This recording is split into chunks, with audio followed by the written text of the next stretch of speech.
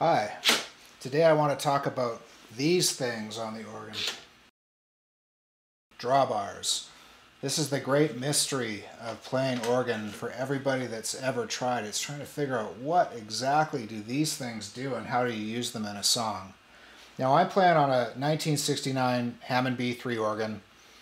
A lot of people don't have a Hammond B3 organ, nor do they want to haul them around to gigs because they're 400 pounds, but you might be playing on a Nord or you might be playing on a Korg CX3, or you might be playing on a Yamaha YC61, or you might be playing on one of the little Hammond clones as well. The thing to note about all of these is they all only have nine drawbars on them. So what I want you to watch today is I'm going to play through a song and I'm going to explain conceptually how I think of drawbars. And I only ever use nine of them at a time. So I'm going to use this set right here.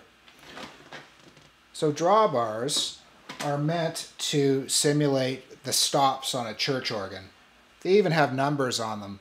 This one is a 16 foot drawbar, which simulates a 16 foot long pipe on a church organ. As I go up the drawbars, the pipes get a little shorter and higher in pitch.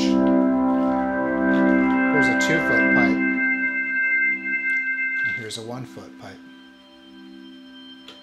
So they're basically like stops to emulate a pipe organ because originally the Hammond organ was meant to replace church pipe organs. That's kind of what they thought it was going to do. And then, of course, it get, it ended up getting used in tons of rock music and pop music and country music. And you all know the rest of the story. The way that I think of drawbars is lows to highs. And I think of drawbars as energy.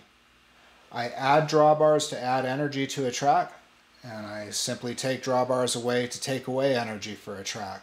And the simplest way that I can explain this is when I'm playing in the verse of a song, I might only use one drawbar, like this. This is the 8 foot drawbar. It's called the flute drawbar. Very popular in rock and country music. That's what that sounds like.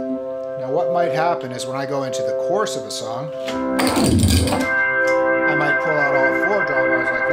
It just makes the sound explode on the organ. Hugely powerful tool in a track, on stage, or in the studio.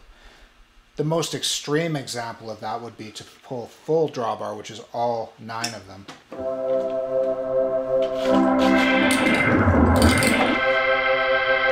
And that's all of the drawbars pulled out at one time. So I'm going to play through a great track by one of my favorite bands and one actually one of the reasons why I got into playing organ in the first place was I heard this band a long time ago and their producer Mitchell Froom who's such a great organ player in my opinion has played some of the most beautiful Hammond organ parts in pop music played on this track. So I'm going to play along to this track in my way and explain to you how I'm thinking about the drawbars as I play and how I build the track as I go. So the very first drawbar setting that I'm going to use is just the 16 foot drawbar. I do this all the time. It's a way of starting a track where the person listening can't even tell that the organ is there. They don't they're not even aware of it. But if you were to take it away, something would really be missing. It just kind of adds a very beautiful pad to the front of the song. So I'll kind of try to explain this as I go. Here we go. To start with the 16 foot drawbar. Just keep it there. Something's got a hold on you. Super simple. And it's pushing me aside. See it stretch on forever. I'm just to stay there. And I know I'm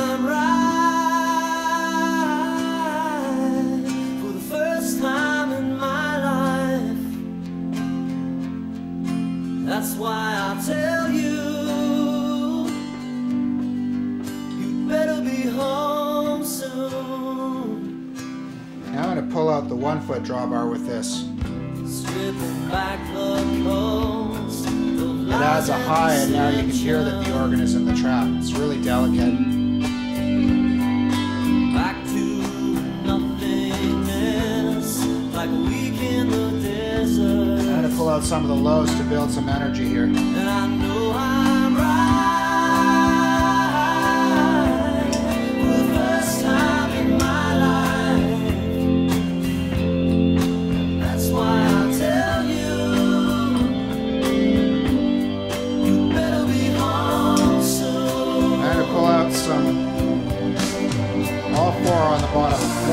aqui.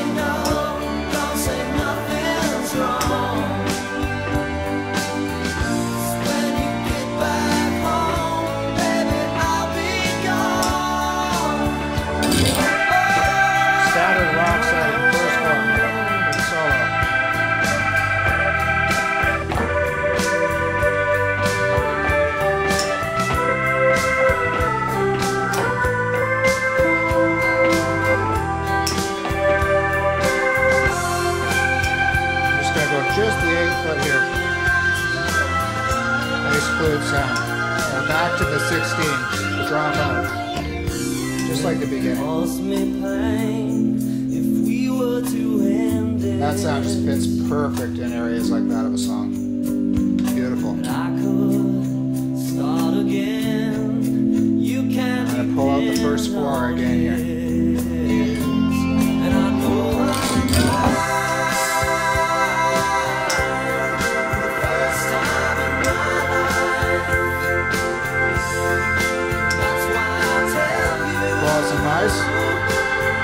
Get ready for this line.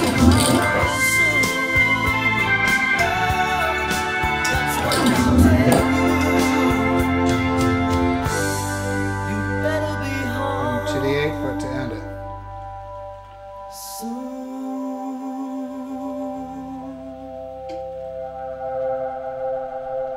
And alternatively, I could have ended it with the 16 foot drawbar,